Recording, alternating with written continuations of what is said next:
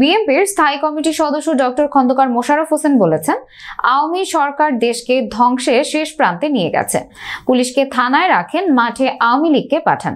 তখন মাঠে প্রমাণ করব আমরা। আজ মঙ্গলবার বিকেলে চট্টগ্রামের বাকুলিয়া কালামিয়া বাজারের কেবি কনভেনশন হলে বেগম খালেদা জিয়ার মুক্তি ও সুচিকিৎসার দাবিতে বিএনপির সমাবেশে তিনি এসব কথা বলেন। এ সময় তিনি আরও বলেন, এক টাকা উত্তোলন না করেও বেগম খালেদা জিয়া কীভাবে ইতিমের টাকা মেরে খেয়েছেন কীভাবে এতিমের টাকা মেরে খেয়েছেন? আইনে বিনা শর্তে বেগম খালেদা জিয়াকে উন্নত চিকিৎসার জন্য পাঠানো সম্ভব।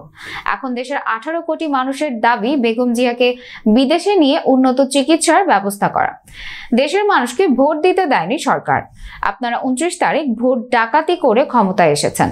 ওই সমাবেশে চট্টগ্রাম মহানগর বিএনপির আহ্বায়ক ডক্টর শাহাদাত হোসেনের সভাপতিত্বে ও সদস্য সচিব আবুল হাশেম বক্করের সঞ্চালনায় আরও বক্তব্য রাখেন। বিএনপির vice chairman Mir Mohammad Nasir Uddin BNP chairperson উপদেষ্টা গোলাম আকবর খন্দকার এস এম ফজলুল হক, কেন্দ্রীয় বিএনপি চট্টগ্রাম বিভাগীয় সাংগঠনিক সম্পাদক মাহবুবুর রহমান শামীম, জাফরুল ইসলাম চৌধুরী, আবু সুফিয়ান, হুম্মাম কাদের চৌধুরী, সাবেক এমপি শাহজাহান চৌধুরী ও আব্দুল ওয়াদুদ ভুইয়া প্রমুখ। আজকের দেশের প্রধানমন্ত্রী রাজনৈতিক প্রতিহিংসার কারণে শর্ত দিয়ে দিয়েছে।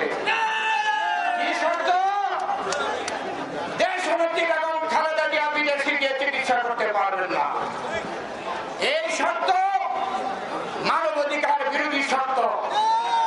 এই সত্য আমাদের সংবিধান মোতাবেক একজন মানুষের মৌলিক অধিকারকে খর্ব করার সত্য।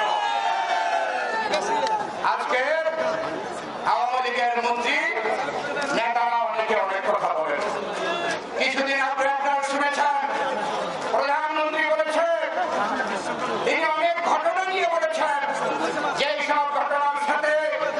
বাংলাদেশ জাতীয়তাবাদী দল